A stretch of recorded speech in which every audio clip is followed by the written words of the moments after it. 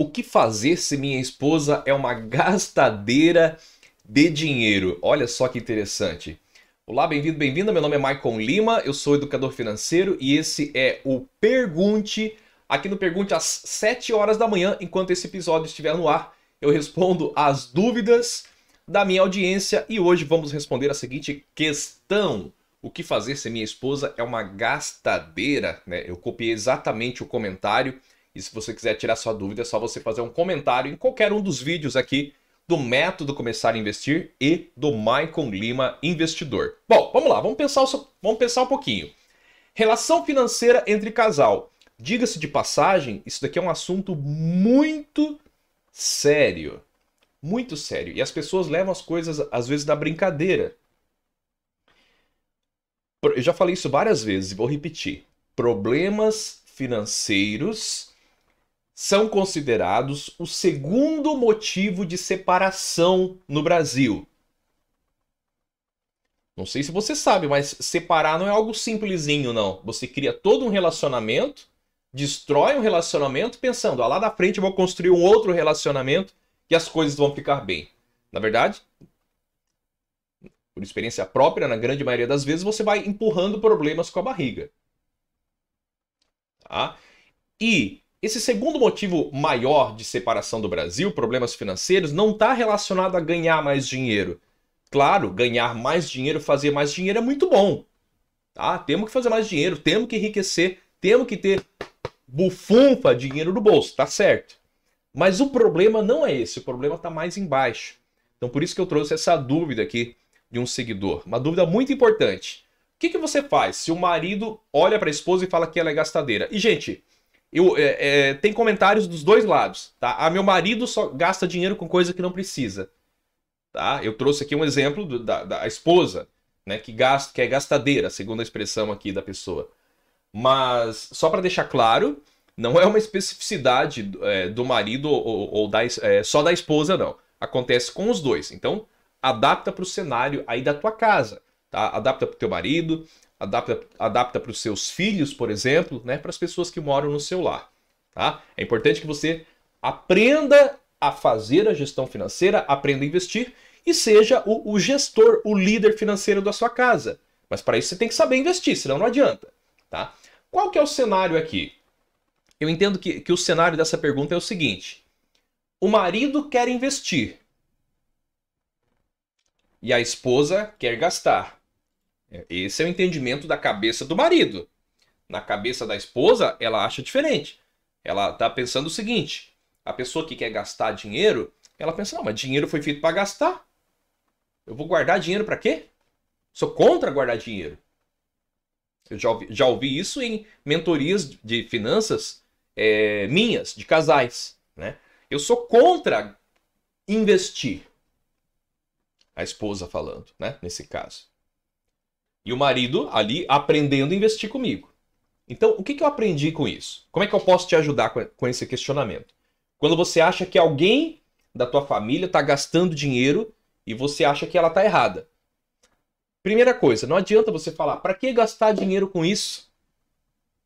Né? Exemplo, a pessoa foi lá e comprou um celular. Aí você olha assim, mas para que gastar dinheiro com isso? Não vai resolver. Não é dessa forma que a gente resolve as coisas. Se esse é o teu caso, né? Marido, a esposa, esposa, marido, filho, enfim, se adapta. Mas eu vou usar esse exemplo aqui em questão. O marido quer investir e a esposa quer gastar. Primeiro que, se a gente pegar historicamente, né, as nossas origens, o marido ele tende a ser o provedor da casa, né? Ou seja, é o cara que traz dinheiro, trabalha e traz dinheiro, né? Trabalha e traz comida, que a gente fala, para dentro de casa. E a esposa, naturalmente, vai ter um pouco de pensamento para gastar mais do que o marido. Por quê? O homem às vezes compra uma roupa e fica com a mesma por, por muito tempo, a mesma camisa por anos. Isso culturalmente. Tá? É uma regra para todo mundo? Não, mas culturalmente é assim.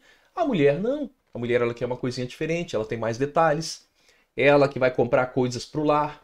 Ela que está limpando a casa e olhando, queria comprar uma mesa nova, queria comprar uma, uma pia da cozinha nova, muitas vezes. Ela que quer comprar uma cortina mais bonita, né? é ela que, que vai gastar para comprar comida que você come. Então, existe um elemento natural da sociedade em um homem trazer dinheiro e a mulher despender esse dinheiro, quer dizer, gastar. Muitas vezes com necessidade, com comida, por exemplo. Então, se você quer investir, você marido quer investir, e você entende que a esposa não quer que você invista, o que, que você tem que fazer? Você tem que mostrar o valor de você estar investindo hoje. Por exemplo, se vocês só juntarem dinheiro para comprar um novo carro. Ah, comprar um novo carro é muito bom, né? Um carro mais bonito para ir passear. Só que você está comprando mais custo. Carro maior, IPVA maior, manutenção maior, custos maiores, gasta mais gasolina, seguro mais caro. Agora, se você, marido, nesse exemplo hipotético do carro, fala o seguinte: não, a gente não vai trocar de carro, vamos continuar com o carro mais básico, por exemplo, e a gente está investindo porque lá na frente a gente vai ter esse benefício. Então você deve mostrar o benefício futuro que vocês terão. Boa parte das famílias de todo o Brasil se se unissem, investissem, em 10 anos teriam liberdade financeira. Gente, 10 anos é pouco tempo. Quantos, quantos anos você tem hoje? Tem 40? 50 anos é pouco tempo. Se tem 50, 60 anos é pouquinho tempo. Não, mas que eu tenho 30 anos. 40 anos é pouco tempo. É assim que funciona nos investimentos: plantar e colher. Se vocês fizerem a gestão financeira juntos, guardar dinheiro, investir da forma correta. Não é dinheiro fácil do dia para a noite, como falo por aí na internet, isso não existe. Existe você ganhar dinheiro, muito dinheiro com bons investimentos. Plantando todo mês um pouquinho, fazendo um esforço. Não é fácil para a maioria das pessoas é, ter aquele dinheiro e não gastar. Mas o teu sacrifício, né, o teu suor é, é, é, o que rega a tua plantação. O teu sacrifício é o que vai fazer o teu resultado acontecer lá na frente. Então você deve fazer isso, tá? Se você quer guardar, e olha que talvez ela queira gastar. Naquele exemplo hipotético, ao invés de trocar de carro ou gastar com outras coisas, o que, que vai acontecer lá na frente? Você vai gerar dividendos, você vai gerar uma renda passiva tão grande que o próprio dinheiro vai trabalhando para você e você sai dessa vida escrava de trabalhar pelo dinheiro. De novo, resumo. O que, que você vai fazer se você quer investir e a esposa quer gastar? Ela não vê o valor daquilo que você está fazendo. E é muito importante que vocês caminhem juntos. Juntos vocês chegam mais longe. Você vai fazer duas coisas. Um, mostrar o valor de você estar investindo hoje. Mostra para ela, olha aqui, ó, caiu dividendos da nossa conta. No começo vai ser pouquinho, vai ser um real, 50 centavos, 10 reais. Com o tempo vai aumentando. Depois de um ano, ó, 100 reais. Já pagamos aqui uma parte da conta de luz com o dinheiro que está lá investido. O dinheiro está trabalhando para você, vai mostrando o valor do dinheiro. Mesmo que seja centavinhos, isso vai crescendo, é plantação, vai crescendo. Mostra o valor de você estar investido hoje e mostra para tua esposa, nesse caso, o benefício futuro que vocês terão. Um grande abraço e até o próximo Pergunte.